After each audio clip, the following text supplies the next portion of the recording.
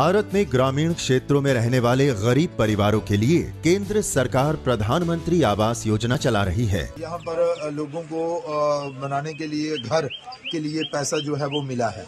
तो अभी हम आए थे तो हमारी जो माता जी इनका नाम है चंचला देवी और इनके जो सपुत्र हैं पवन जी।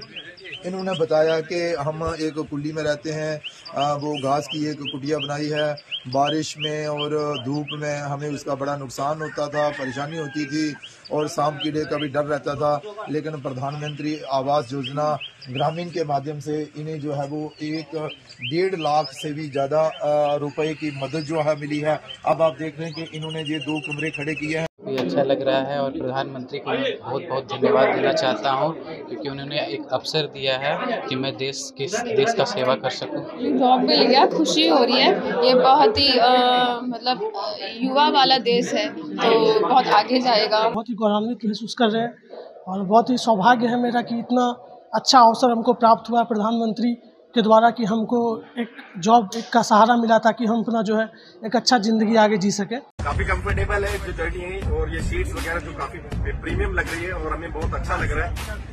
और बगल में जो ये इतनी बड़ी विंडो दे रखी है काफ़ी अच्छा यहाँ से व्यू देखने को मिल रहा है। रावली रेंज हमें यहाँ से बहुत प्यारा व्यू देखने को मिल रहा है काफ़ी काफ़ी अच्छी ट्रेन है और बाहर अभी जैसा हम लोगों ने देखा कि लोगों में इस ट्रेन के लिए बहुत ही ज़्यादा क्रेज है। Want to make a prediction for you.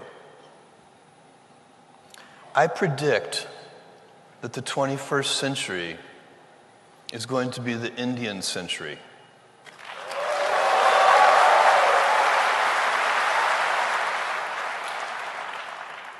The dynamism, the energy, everywhere I go here, I meet people who are interested in self improvement and growth.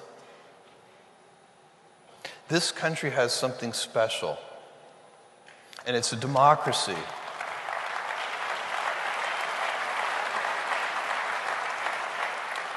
This is going to be the Indian century.